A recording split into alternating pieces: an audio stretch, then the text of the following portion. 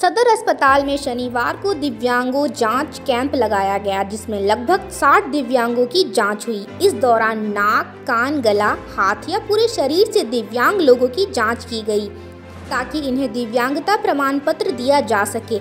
बताया गया कि यह जाँच कैंप हर महीने 8 और 25 तारीख को लगती है, लेकिन इस बार शिवरात्रि की छुट्टी रहने के कारण इस कैंप को 9 मार्च को लगाया गया।